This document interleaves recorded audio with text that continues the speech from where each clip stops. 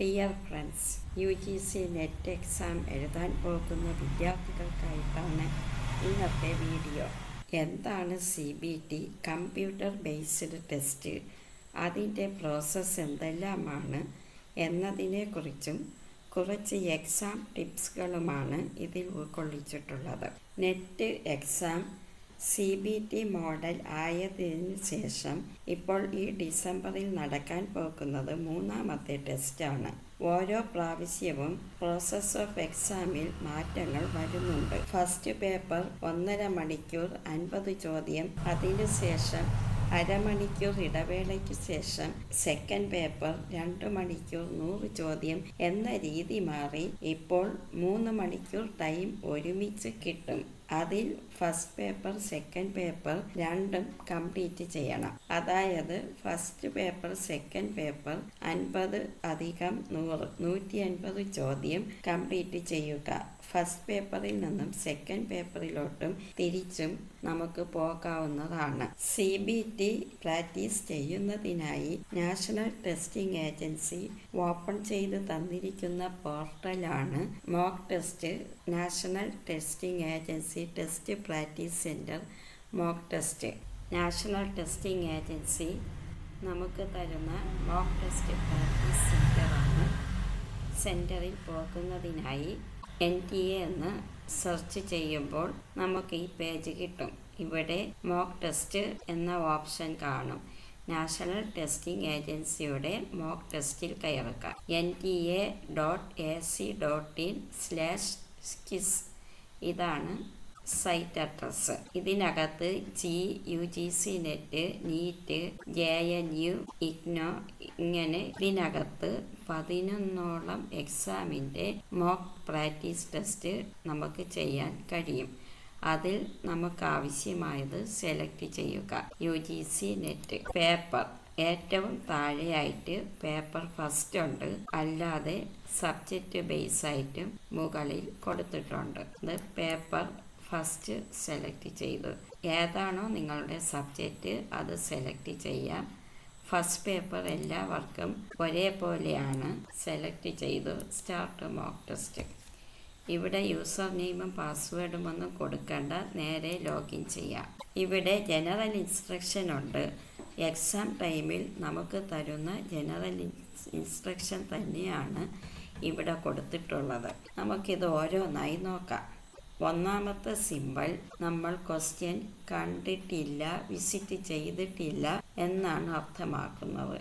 രണ്ടാമത്തെ ഈ ചുവന്ന സിമ്പിൾ ക്വസ്റ്റ്യൻ നമ്മൾ കണ്ടു പക്ഷെ ആൻസർ ചെയ്തിട്ടില്ല എന്നും. ഈ പച്ച സിം ക്വസ്റ്റ്യൻ ആൻസർ ചെയ്ത് കറക്റ്റ് സബ്മിറ്റ് ചെയ്ത സിമ്പിൾ നീലയാണെങ്കിൽ ക്വസ്റ്റ്യൻ നമ്മൾ ആൻസർ ചെയ്തിട്ടുണ്ട് പക്ഷേ റിവ്യൂവിനായിട്ട് കൊടുത്തേക്കുകയാണ്. ഇങ്ങനെ ആൻസർ ചെയ്ത് അത് റിവ്യൂവിന് കൊടുത്താൽ നമുക്ക് അത് വാല്യൂ ചെയ്യത്തില്ല.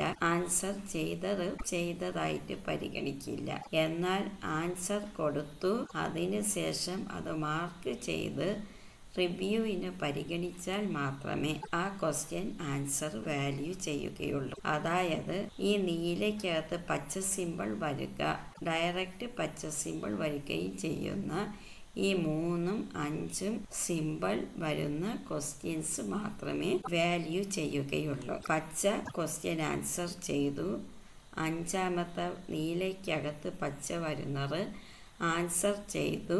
മാർക്ക് ഫോർ റിവ്യൂ കൊടുത്തേക്കുന്നത്. ഇവിടെ ഈ നീല വരുന്നത് നമ്മൾ ആൻസർ ചെയ്താലും മാർക്ക് ചെയ്യാതെ റിവ്യൂവിന് കൊടുത്താൽ ആ ക്വസ്റ്റ്യൻ പരിഗണിക്കില്ല. അപ്പോൾ ഇത് ഇത്രയുമാണ് നമ്മൾ ശ്രദ്ധിക്കേണ്ട കാര്യങ്ങൾ. ഈ ജനറൽ ഇൻസ്ട്രക്ഷൻ ഇവിടെ ലാസ്റ്റിൽ ടിക് മാർക്ക് കൊടുക്കുക പ്രൊസീഡ് കൊടുക്കുക. ഇപ്പോൾ എക്സാം ഹാളിൽ നമുക്ക് കിട്ടുന്ന പേജ് ഇങ്ങനെയായിരിക്കും ഇവിടെ സേവ് ആൻഡ് നെക്സ്റ്റ് ഉണ്ട്. Save and mark for review ഉണ്ട്.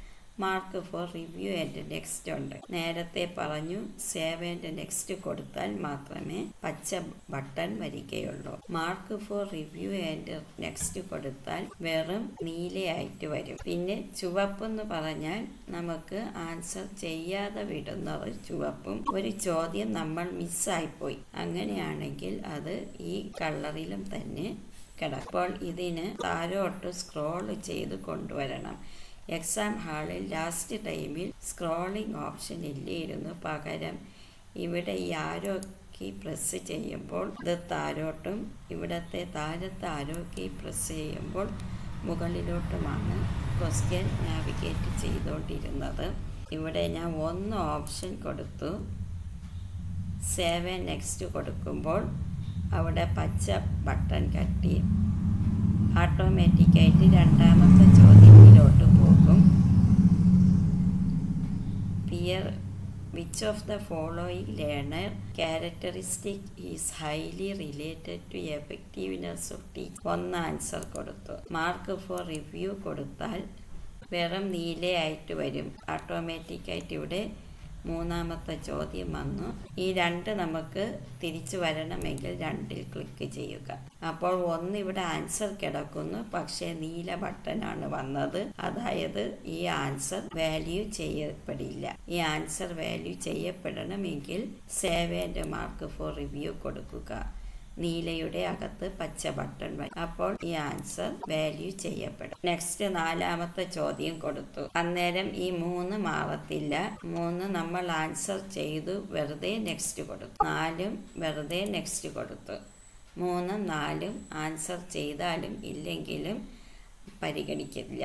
കാരണം റെഡ് സിമ്പലാണ് വന്നത്. അപ്പോൾ ഇതിൽ നിന്നും ശ്രദ്ധിക്കേണ്ട കാര്യം ഇനി ഒരു കാര്യം. ഇവിടെ ഞാൻ ഒരു ആൻസർ കൊടുത്തു. ഈ ആൻസർ നമുക്ക് മാറ്റണമെങ്കിൽ ക്ലിയർ റെസ്പോൺസ് കൊടുക്കുക. വീണ്ടും ആൻസർ മാറ്റി. നമുക്ക് യഥേഷ്ടം ഒരു ആൻസറിൽ നിന്നും മറ്റൊരു ആൻസറിലേക്ക് പോകാൻ സാധിക്കും. അപ്പോൾ ഇത്രയും കാര്യങ്ങളിൽ നിന്നും നമുക്ക് മനസ്സിലാക്കേണ്ട കാര്യം ആൻസർ ചെയ്തു കഴിഞ്ഞാൽ save and next button click ചെയ്യുക. നമുക്ക് ഡൗട്ട് ഉണ്ടെങ്കിൽ save and mark for review press ചെയ്യുക. അല്ലാതെ mark for review and next press ചെയ്യരുത്.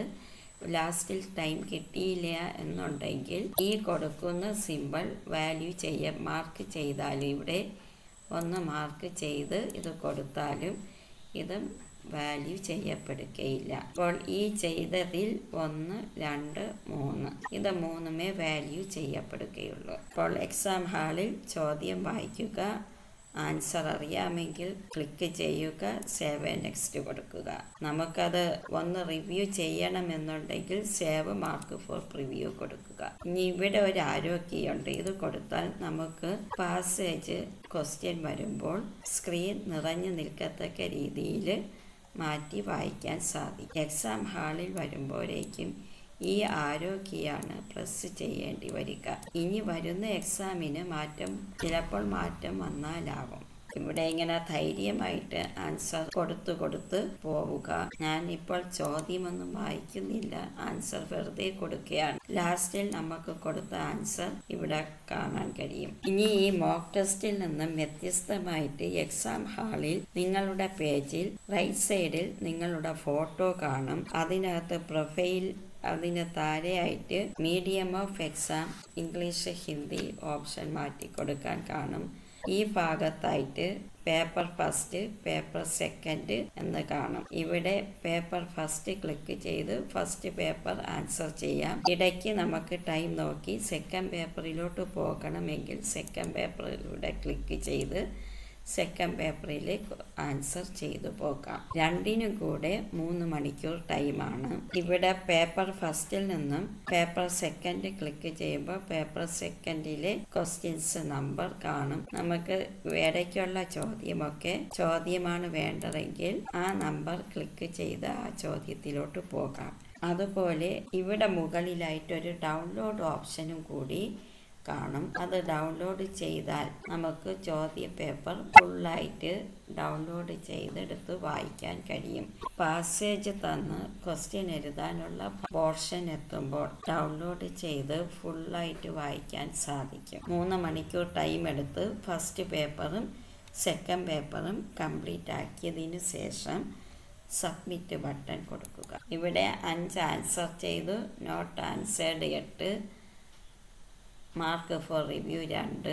വിസിറ്റ് ചെയ്യാത്ത മുപ്പത്തിരണ്ട്. ആൻസർ മാർക്ക് ഫോർ റിവ്യൂ മൂന്ന്. അഞ്ചിന് മൂന്ന് കറക്റ്റ് ആൻസർ ഇപ്പോൾ മോക്ക് ടെസ്റ്റ് പ്രാക്ടീസ് ചെയ്യുമ്പോൾ എല്ലാം മാം ആൻസർ ചെയ്തിട്ട് ലാസ്റ്റിൽ നമുക്ക് ആൻസർ ചെക്ക് ചെയ്യാവുന്നതാണ്. Dear friends U national testing agency നടത്തുന്ന നെറ്റ് ഇഗ്നോ ബിയഡ് നീറ്റ് തുടങ്ങിയ എക്സാം എഴുതാൻ പോകുന്ന എല്ലാവർക്കും ബെസ്റ്റ് വിഷസ് നാഷണൽ ടെസ്റ്റിംഗ് ഏജൻസിയുടെ മോക്ക് ടെസ്റ്റ് പ്രാക്ടീസ് സെന്ററായ ഈ സൈറ്റിൽ കയറുക. തിരിക്കുന്ന മോക്ക് ടെസ്റ്റ് ഈ പറഞ്ഞ രീതിയിൽ സമയത്തിനുള്ളിൽ ചെയ്തു തീർക്കാൻ വേണ്ടി പ്രാക്ടീസ് ചെയ്യുക. നല്ലതുപോലെ പ്രാക്ടീസ് ചെയ്ത് പഠിച്ച് പരീക്ഷ എഴുതുക അപ്പോൾ അപ്പോൾ best of luck all of you